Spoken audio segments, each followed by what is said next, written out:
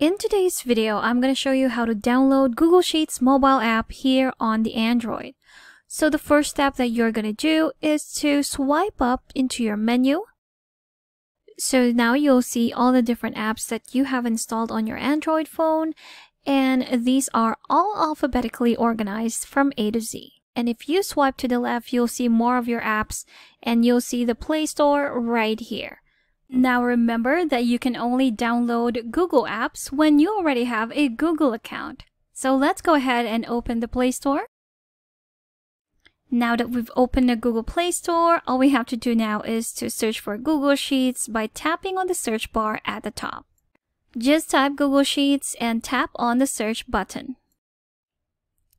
So now we have our Google Sheets app. If we want to install it, all we have to do is to tap on it, to know more details, you have the descriptions, the ratings, and all that. When you're done reading all about it, you'll see the install button right there and at the side you have a drop down that will ask you if you want to install this in other devices linked to your account. But if not, just tap on install and there you have it. It's already starting to download. It will eat up at least 28.34 MB of your storage space, but when it is done installing, you'll have two options of uninstalling it again or opening the app itself.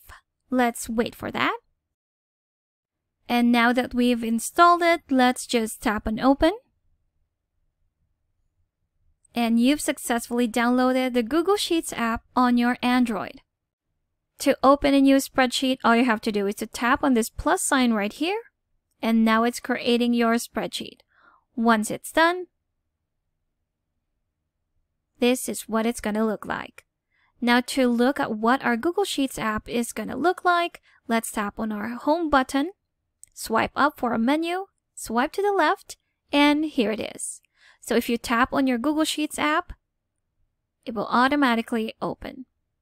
And there you have it. That's how to download your Google Sheets mobile app on Android. Thanks for watching. If you found this video helpful, do leave a like and subscribe for more helpful videos. See you on the next one.